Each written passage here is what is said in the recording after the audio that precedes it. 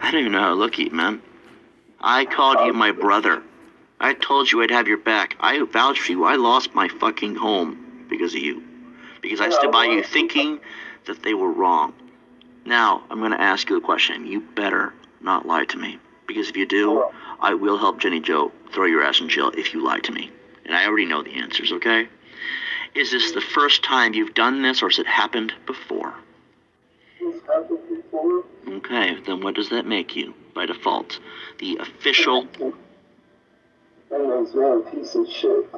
Tell me the exact definition of what that would entail you to be.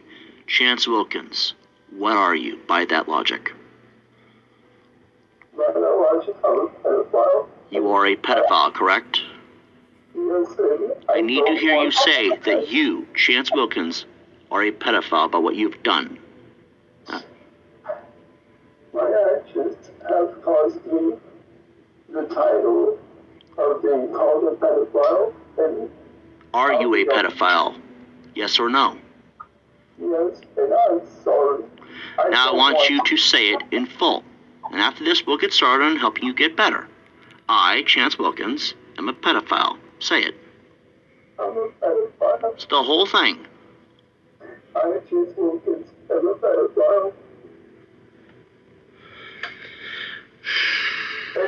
I want know that I don't want to do that. Uh, I don't want to follow in my father's footsteps. Wow, well, there you go. I mean, he's admitted it before, so, like, it's not any different, but. And then, of course, he made a video after this that you've seen.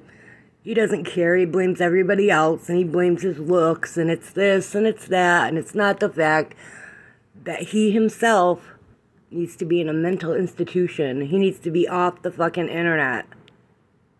I love you guys, and I'll see you later.